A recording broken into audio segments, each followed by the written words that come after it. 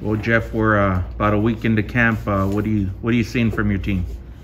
Um, we've got an edge to us, both sides of the ball. I think it's the edgiest we've ever been since we've been here, which is exciting. We've some very physical football teams, but um, of our four padded practices, I mean, three of them were game-like tempo. Um, yesterday, I was a little disappointed, but today was like a game.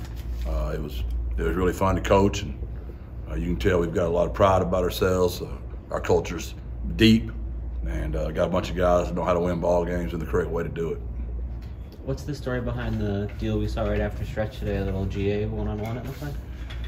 Oh, just some older guys trying to be young again, writing checks with their minds, their bodies can't cash.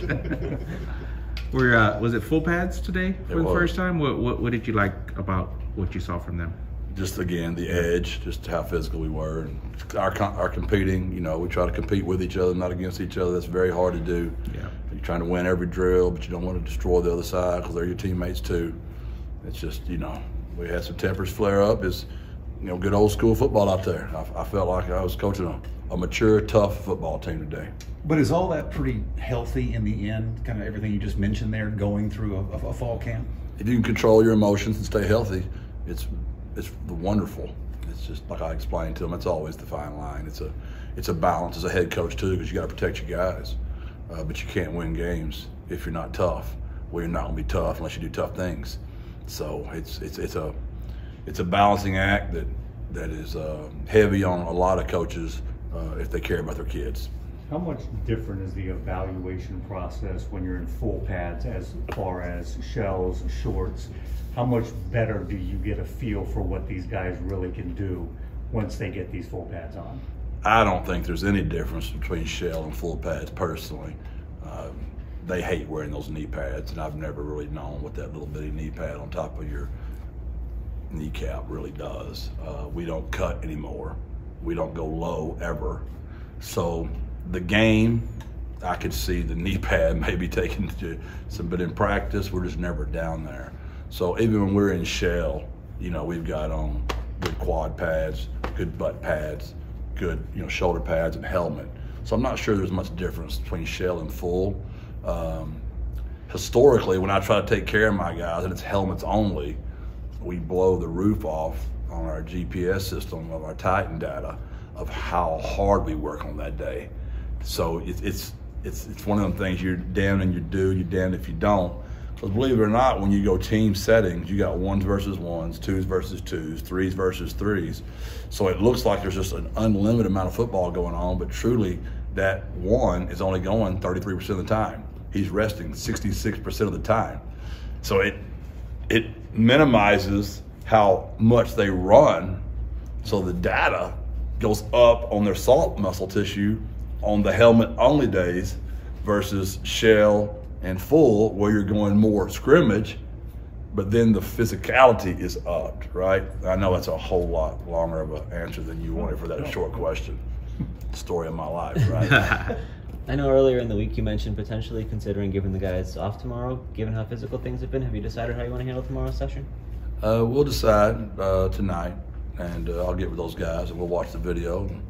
You know, like like all great parents and coaches do, when it's their idea, it's a lot better, and uh, we'll we'll see what they think about practice. I, I'm pretty quick to not try to judge that until I come in.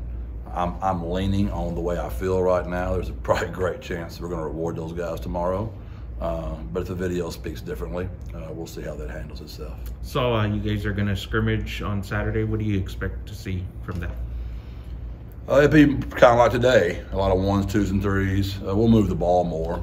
Uh, we'll have some situations as well. Uh, we'll have officials. That's always nice because I, I hate being the official. You know, someone's always mad. and I don't like being people mad at me. Uh, I go home and get that right. Uh, so that would be it. The officials, and you know, we're having our alumni. You know, our former our former players, and we've only been playing 13 years. So you know, oldest guy there will be probably 35. But uh, are you are you 35, JJ? How old are you, JJ? About your age, you and Greg's age. What What does it mean to get those former players back in here? It's awesome. They're so proud. They they've enjoyed the ride. You know, I hired Parker Cundiff, who's on those original teams, and so I get to work with a guy that every day similar when I had Kevin Brown working for me. They, they remind me when I'm just mad and down. We don't have this, we don't have that, and they they remind me how far we've come. And then when I speak to those guys, they tell me about where they were, and it's just a good reminder of how far this program's escalated in the 13 year of playing ball. So I'm I'm excited to see them. A lot of them coach though, so they're busy on Saturdays. So they'll they'll text me and tell me they won't be able to be here. Uh, but that excites me too because a lot of our former players are now coaches, and I know how proud they are of the program. They'll sneak out here more during the week, you know, so they can get away from their work more. On Saturdays, you got scrimmages and stuff. Jeff, what would it mean to you to see Jamal Ligon end his career as the program's all-time tackles leader? I know that's in play for him. Um, you know, I don't keep up with that stuff very much. I tell y'all all the time. That's what's great about y'all because y'all can always remind me of that stuff. I just think just because the human that he is and what he's done and kind of his story, you know, he was a North Texas commit and and we flipped him like in a day and and he was torn about that, really torn, and uh, it's just been a wonderful story ever since he started. He might have started his very first game. I'm not for sure of that, but it seems like he's been in the starting lineup as long as I've been here. You guys are about three weeks out from the start of the season. Have y'all kind of started looking to that, or is it still more of like a fall camp? We're peaking. There's no doubt. We're watching Kennesaw, but we're not working on them yet. We are working on the Roadrunners still. So, um, you know, that's that's always a fine line too. Of when when do you start going scouts, and when do the threes quit going? You know, we'll we'll try to go another week probably, just working on the Roadrunners. Then we'll go ones and twos and some scouts, and we'll start getting some Kennesaw looks. And get that's a really proud program. When you watch their video, you can tell they've been doing a lot of winning. They're going to be way better than you guys think they're going to be. It's because they're a lot like UTSA. You hadn't really heard of them a lot. Like people hadn't really heard of us until recently.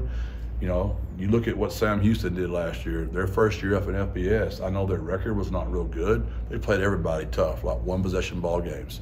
And I think when Kennesaw comes up to FBS, they'll be just like that. They'll be tough as nails, proud program, well coached, and uh, they're way better than I want them to be. Jeff, we talked to Elliot Davison Monday, and he talked about his connection with Jamal and how far they go back. Does that translate on the field at all, or did it help Elliot get settled in here? How have you seen that come into play? And Bryson, there's three of them that were all teammates together. All three played for my brother. So um, that's nice when those guys are coming in. They've been through the exact same culture, similar pillars, similar thoughts, similar words. I'm sure they've heard way too many stories about the Traylor brothers on the farm with, with our crazy father. And so, yeah, those kids are a blessing. They're just, they're just, they're instant day one leaders the moment they get here. And whoever hires them one day, they'll they'll be hiring instant day one leaders the moment those guys walk in their jobs. Uh, Texas high school football practices for some, not all, started on Monday. Anything you ever missed five, six, seven years later about that? Um, unfortunately, it's been ten years now. Uh, Um, crazy, but yes, um, yeah, I do. Uh, there's something different about being a Texas high school football coach. Your uh, your your role's different, uh, just because you take them on at such a younger age, and you're dealing with not all very good players. As a matter of fact, most of them are not very good players. Um, so you're trying to make a lot of guys that aren't real good feel like they're really good and try to win ball games and keep your job and help them become men all at the same time. That was a fun experience, especially when we were there as long as we were, that we had them from kindergarten on because Mr. Albritton, uh, they, I remember they were discussing like they were tired of handling the PE and PE, and I said, just let me let, let me become the PE director as well, and we started getting them from kindergarten on. So you had a real special relationship. Uh, like for example, Kris Boyd, who's now with the Houston Texans, probably on his seventh or eighth year. My mother was his pre-K teacher. My wife was his uh, elementary principal, and I was his coach that whole time through. So you can imagine how close you get to kids when you've been dealing with them literally since pre-K. Ten years. I forgot about your assistant. Yeah. I would like to make it only five or six. that means my age would be about five years younger. Thank y'all. Thank you, Jeff.